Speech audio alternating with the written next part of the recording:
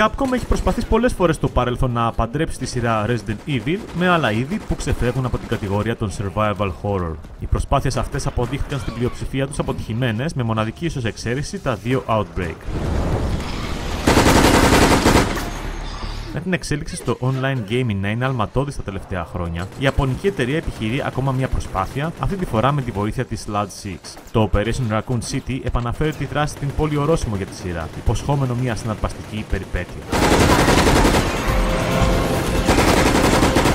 Οι βασικοί μηχανισμοί τίτλων τρίτου προσώπου που χαρακτηρίζουν τις περισσότερες παραγωγές του είδους είναι εδώ με την εμπειρία της ομάδας ανάπτυξης από τους πρόσφατους τίτλους Socom να φέρνουν ένα στοιχείο ομαδικής δράσης που δίνει ένα ξεχωριστό ενδιαφέρον. Το έργο των πρωταγωνιστών προσπαθούν να δυσχεράνουν οι ορδέ των ζόμπι και η ομάδα Spec Ops του στρατού, χωρίς ιδιαίτερη επιτυχία όμως, αφού η τεχνητή νοημοσύνη παρουσιάζει πολλά προβλήματα. Η κακή ανταπόκριση των χαρακτήρων, η λανθασμένη αίσθηση των όπλων και της κίνησης είναι μόνο ορισμένα από τα προβλήματα.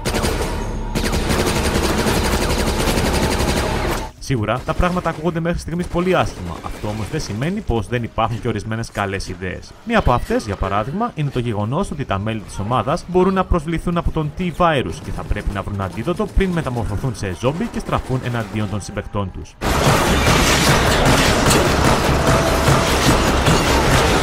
Πέραν της κεντρικής καμπάνιας, για την οποία υπάρχει η δυνατότητα ταυτόχρονης συμμετοχής τεσσάρων παιχτών, ο τίτλος προσφέρει και ανταγωνιστικό online multiplayer με παραλλαγές γνωστών modes. Από τεχνική πλευράς, το νέο παιχνίδι δεν έχει να προσφέρει κάτι το πρωτοποριακό ή εντυπωσιακό. Τα άμορφα μοντέλα των χαρακτήρων κλέβουν την παράσταση σε ένα κατά τα άλλα μέτριο σύνολο, με το περιβάλλον να υποφέρει από έλλειψη έμπνευση στο σχεδιασμό του.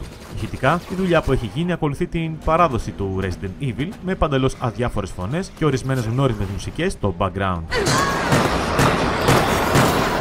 Το ρηχό και επαναλαμβανόμενο gameplay δεν καταφέρει να μας αφήσει ικανοποιημένους.